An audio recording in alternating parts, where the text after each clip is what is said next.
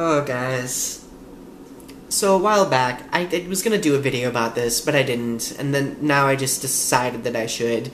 A while back, I went on a date with this gentleman, and he seemed pretty cool, except, like, when we started to get to know each other more, he basically implied that he wanted to take things to the next level. I was like, "Oh, you mean relationship, right?" And no, I was wrong. He was referring like the the next sexual level. And I was like, "No, like we're not dating and like come on, we should get to know each other more before we do that." And he basically told me I want to test out the goods first before I make a purchase. As you can imagine, I was a little upset at first, and I was like, gee, you basically reduced me to like this freaking retail clearance item that you need to deem worthy before you decide to take in. And after I thought a while longer, I realized I shouldn't pity myself for being objectified.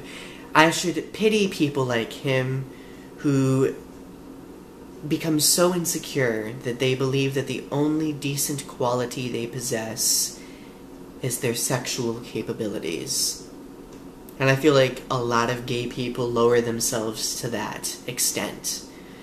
When in fact, they should realize that there there is more to a human being than what they do in the sheets. And of course, when I expressed this to him, he ended up telling me that he knows that I would fall in love with him after we do it. And I was like, you know, that's not what a relationship is to me.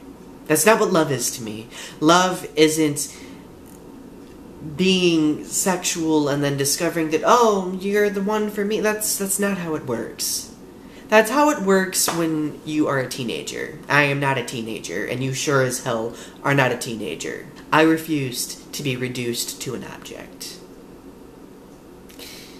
If a guy wants me, he needs to learn that there is a lot more to me than that. Do not allow yourselves to be reduced to an object because you are worth so much more.